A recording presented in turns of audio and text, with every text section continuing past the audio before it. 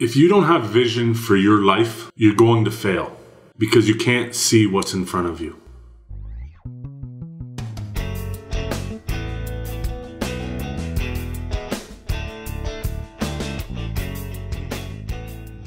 Hey, what's going on, my YouTube family?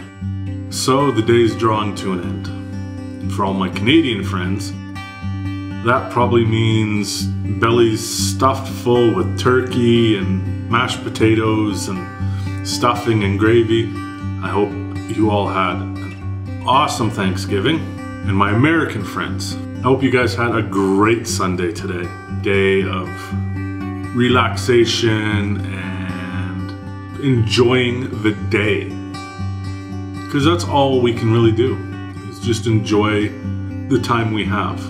Did you guys get a chance to go out and do anything fun? I worked this morning. Um, this afternoon, I took a nap and then went and did cardio.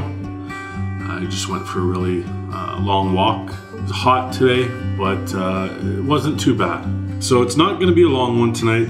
I just wanted to check in with you guys, tell you guys that I love you. Because of your guys' support, I keep going. I keep pushing myself keep losing the weight, to keep on this journey.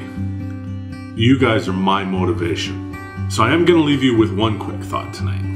I heard a story about a lady years ago who was swimming swimming the English Channel and a heavy fog rolled in and she quit. And when the fog started slowly left, she realized she was only 20 yards from her finish line. So what's that story mean? If you don't have vision for your life, you're going to fail because you can't see what's in front of you.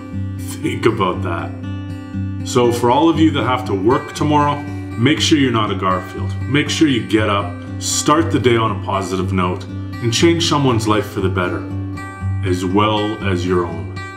Till tomorrow, you guys, make sure you take it one day at a time and one step at a time.